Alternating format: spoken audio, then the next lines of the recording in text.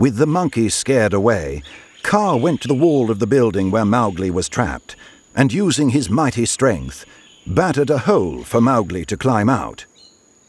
We be one blood, thou and I. I take my life from thee tonight.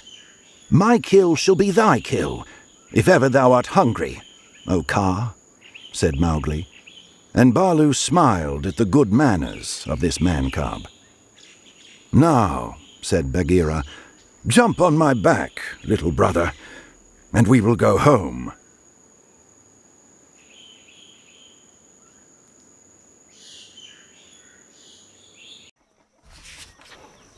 The time came for Mowgli to leave the forest and join the world of man.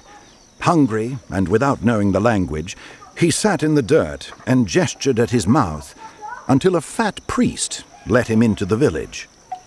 But Mowgli was not happy in the world of man and wouldn't play with the other children, for they teased him when he didn't understand their games. Hmm?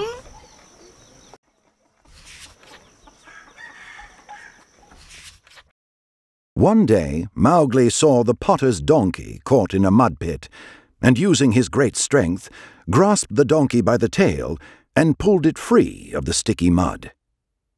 At night, the village hunter, Buldeo, would tell outlandish stories about the jungle, and Mowgli would scowl at the fiction, huffing because he knew better.